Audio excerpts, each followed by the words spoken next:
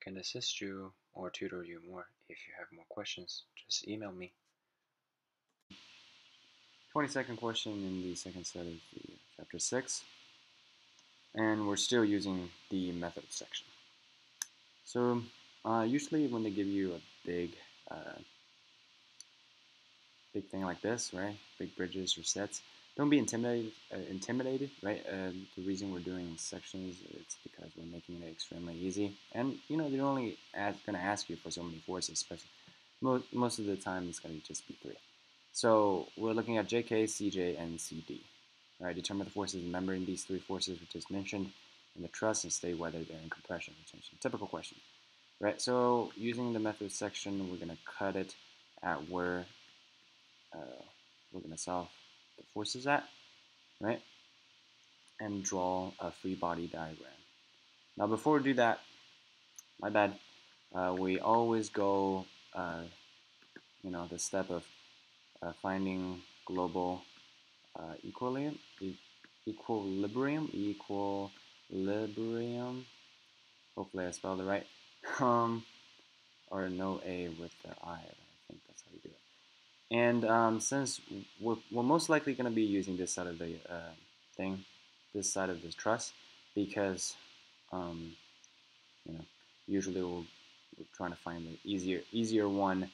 Um, so less forces to consider, easier to calculate, right? Um, in this case, we don't really need the force at this side at G, right? We just need the force over here at AY and AX. Look, there's no any other external force that counteracts AY. Now, you might say, oh, there's internal forces, but you know, internal forces really cancels out in uh, when it's in its uh, equilibrium uh, stage. So AX, we can already draw a conclusion equal to zero because that's the only force going to the x direction this entire structure. Right, so now if we want to find a way y, um, just use the sum of the moments at g, right, going counterclockwise is a positive direction. Um, so let's use AY. AY is going to the negative, right? So AY. So everything else is going to the positive.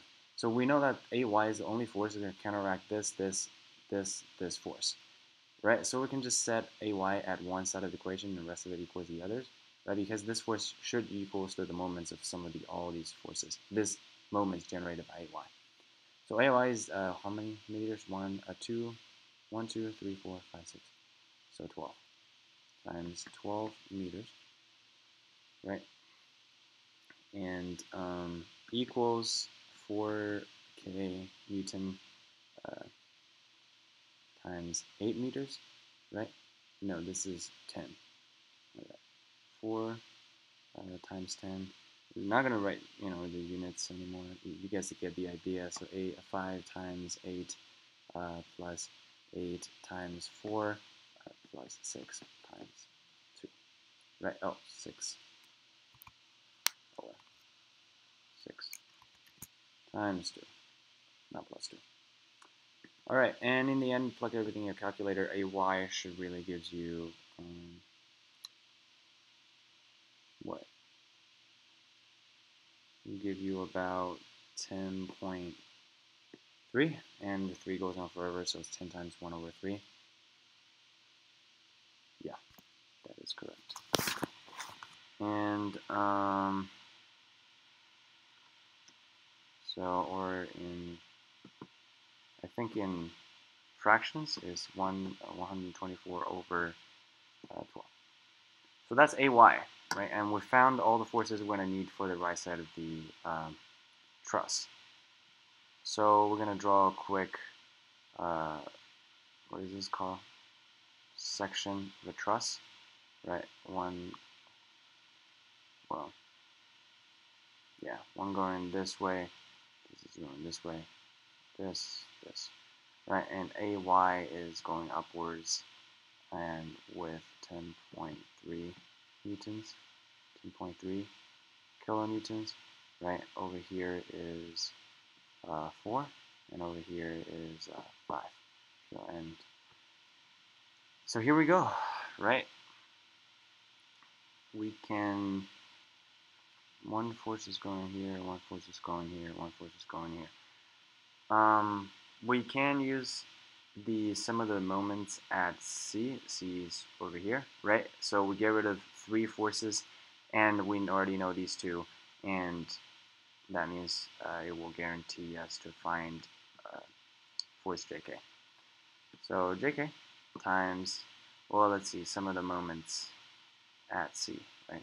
Always write these down so you know what you're doing, um, because trusses can really mess you up because it's not hard, it's just the amount, the quantity of the work, right?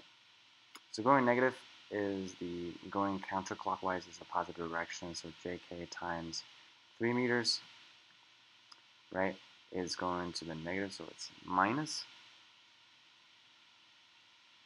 right, and, um, so yeah, this force is going this direction, so and um, minus, uh, 10.3 okay, and uh, times 4 newtons, right, by the moments generated by AY, and plus, right, this force is going this direction counterclockwise, so plus 4 kn times uh, another 2 meters. In the end, uh, this all everything equals to zero. So in the end, JK uh, should give you negative 11.1 kilonewtons. That means we we got the magnitude right. We just draw the uh, direction of the force of JK uh, in uh, wrong, oppositely, right? So JK should be in, in there we go this way, right? And JK should be, is pushing on the joint, therefore in reality is being compressed. Um, so JK is compressing. And over here we can write JK is 1, 11.1 kilonewtons and is in compression, right? Now we can use uh, sum of the forces in the y direction, uh, in the x direction, sum of the forces in x direction going right is the positive, uh, equal to 0, when the forces, so here force, this is a force, it's just jk, oh shoot, we can't use that, never mind, sorry, got too excited. Uh, you, what we should do is use the sum of the forces in the y direction. See, sometimes you make sum mistakes like that and you realize, oh, we can't do it, so we try the other one. Right, some of the forces in the y direction equals to 0, and and we can solve that, right?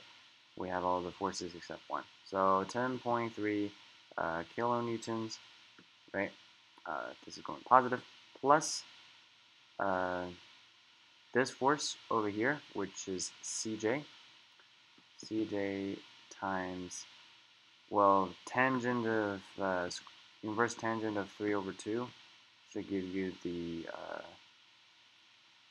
the angle over here, we'll call it beta, uh, equals the beta, and beta should give you, plugging your calculator, beta should give you 56.3 degrees.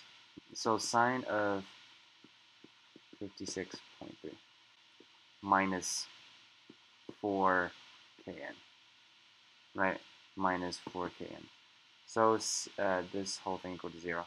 And CJ, in the end, you should have gotten um, negative 1.6 kilonewtons, right?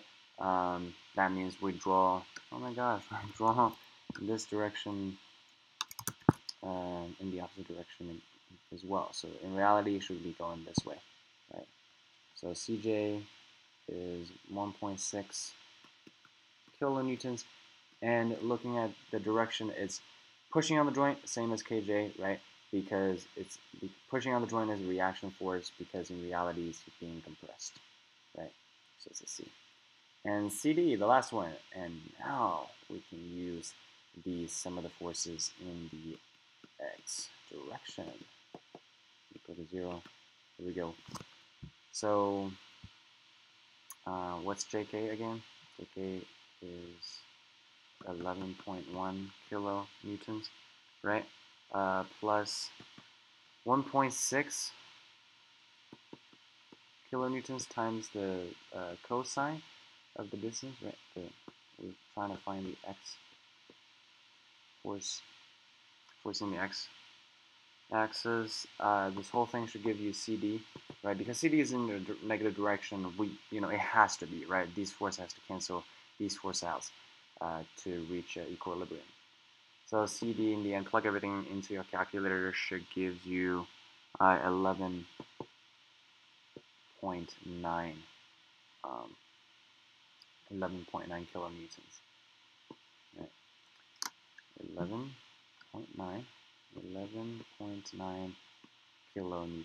In and looking at the forces, right? It's you know, if I'm being stretched, my reaction is to pull, right? So this force is pulling on the joint. That means it's being stretched. That means it's in tension. CD is in tension. Yeah, relatively easy question. Um, hopefully this video was helpful. And um, if you're reviewing for exams, hopefully it brought back some memories. Hopefully I'll see you in my future videos. Bye. If you have more questions, uh, specific questions you would like me to do, please comment in the comment section down below.